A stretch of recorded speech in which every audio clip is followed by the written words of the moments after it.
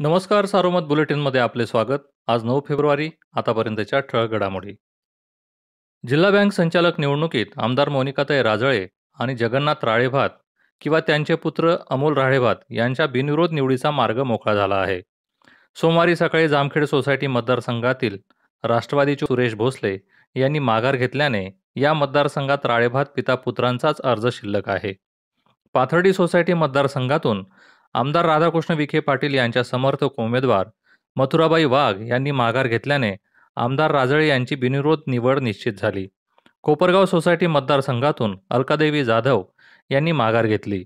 काल दिवसभरात अवघ्या तिघांनी माघार घेतली. अद्याप एकशे एकोणनव्वद जणांची उमेदवारी कायम आहे. व्हॉट्सअपवर व्हिडिओ कॉल करत ऑनलाईन सुनावणी घेऊन अमेरिकेत राहत असलेला पती व भारतात राहत असलेली पत्नी या विवाहित जोडप्याचा परस्पर संमतीने होत असलेला घटस्फोट नगर येथील न्यायालयाने मंजूर केला.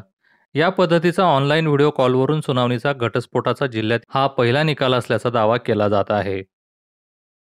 राज्यातील ग्रामपंचायती पंचायत समिती व जिल्हा परिषदांसाठी पंधराव्या वित्त आयोगातून एक हजार चारशे छप्पन्न कोटी पंच्याहत्तर लाख रुपयांच्या दुसऱ्या हप्त्याचे वितरण करण्यात आले.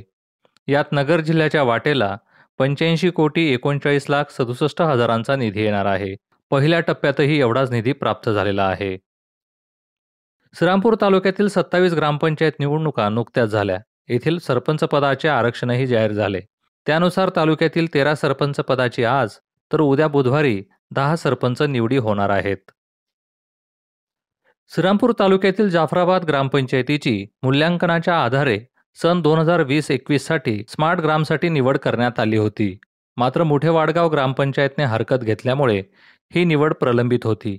पुनर्तपासणी करताना दोन्ही ग्रामपंचायतींना समसमान गुण मिळाल्याने तालुकास्तरीय पुरस्कारासाठी या दोन्ही ग्रामपंचायत पात्र झाल्या आहेत. पारनेर तालुक्यातील वासुंदे येथे बर्ड फ्लूच्या संसर्गामुळे नऊ हजार कोंबड्यांची विल्हेवाट लावण्यात आली. नुकसान भरपाईपोटी जिल्हा परिषदेच्या पशुसंवर्धन विभागाला तीन लाख रुपयांची मदत प्राप्त झाली असून कुक्कुटपालकांना लवकरच ती अदा केली जाणार आहे. या होत्या ठळक घडामोडी सविस्तर बातम्यांसाठी वाचत राहा दैनिक सारोमत किंवा भेट द्या देशदूत डॉट कॉम या संकेतस्थळाला. नमस्कार.